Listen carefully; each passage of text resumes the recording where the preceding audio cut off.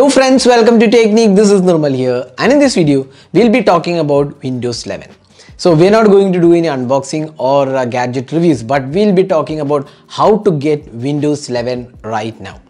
So Windows 11 is now RTM that means released to manufacturing. So this is the final version of Windows 11 and this is now available for upgrade.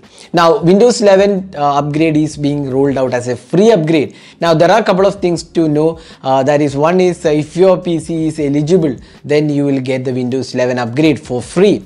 But then when it will be rolled out that depends uh, on a lot of criteria. Microsoft has said that the upgrade rollout will be in a phased manner. That means you may not get it today, you may not get it this year, you might get it next year as well. But it will be a phased rollout. Uh, it will span across uh, to next year as well.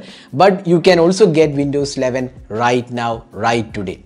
So we'll be talking about how to do that. Uh, before that, uh, if your PC is eligible, how to find out, we'll share the link in the description. We have written a lot of articles on how to see whether your PC is right now eligible for upgrade to Windows 11. So you can check out that link and if your PC is eligible for upgrade, you can right away upgrade to Windows 11 from Windows 10. Once again, you should be having a genuine Windows 10 license to upgrade to Windows 11. If it is pirated, you might not be able to upgrade but again if you have a, a genuine OEM PC you should be able to upgrade uh, to Windows 11 so let's get started. So before that if this is your first time on this channel do hit that red subscribe button and also hit the bell icon to get notified of all the videos we publish. So let's begin. Right now we have an uh, Asus PC this is running on Windows uh, 10 actually and we're going to do a Windows 11 upgrade. So this is Windows 10 right now.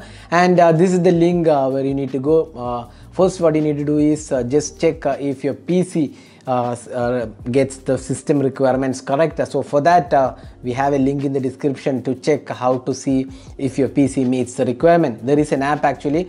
once you do that, you can get to see whether you are eligible for a free upgrade. Now what you need to do is to visit www.microsoft.com slash enus slash software download slash windows 11 the link is available once again in the description of this video so once you go there you can see download windows 11 uh, there are three options for installing or creating Windows 11 media. Now we'll go with uh, the option where you have to upgrade from Windows uh, 10 because other two options you need a genuine license key but if you are already using Windows 10 uh, then you can upgrade here. So this is the Windows 11 installation assistant. So if you go scroll down you can see Windows 11 assistant.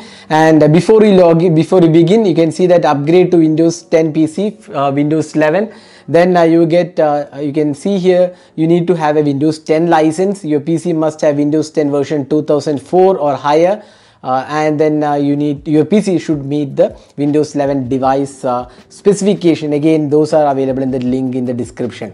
Now uh, just click download now. So you can see that now it's downloaded so just opening it. So I'm just going to open it. So again once again you need to be an administrator to start installing. So you can see here this is the first step. Use the PC help app to check the compatibility. So you need to get the PC app. So here we have the link. So click here and this will download the uh, the PC health check application. So here you can see download PC health check application.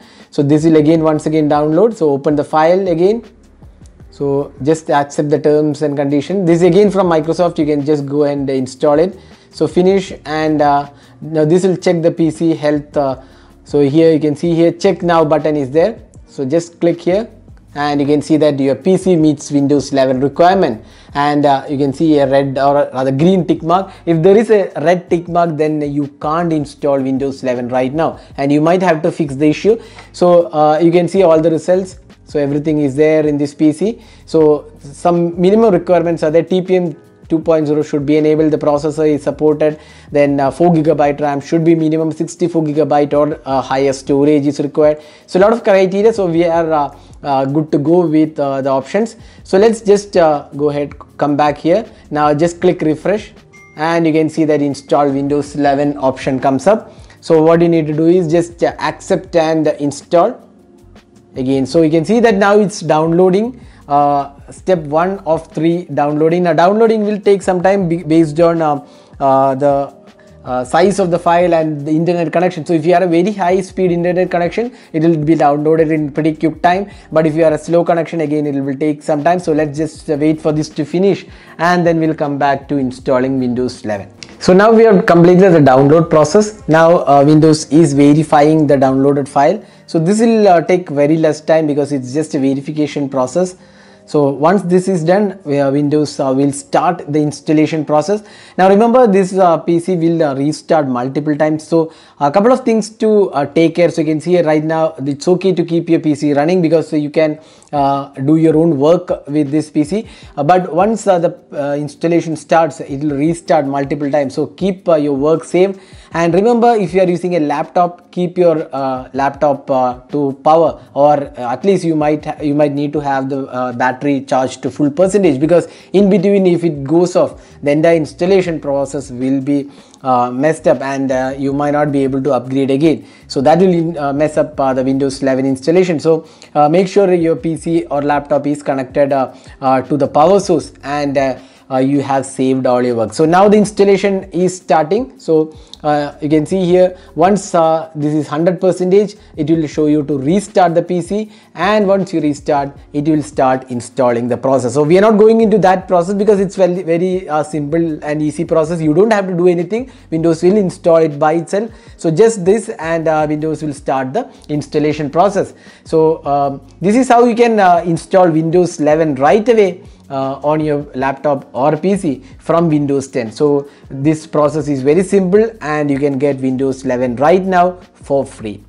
So hope this video was useful. If you still have any doubts or queries, uh, do check the description. We have a lot of links uh, from our blog post which will uh, get you know more about Windows 11, the requirements and how to go ahead. So everything is there. If you still have any doubt, you can just ask in the comment section and we'll be ready to help you out with the installation. So that's it for this video. This is Nirmal signing off. Thanks for watching. Hope to see you in our next video. Have a great day.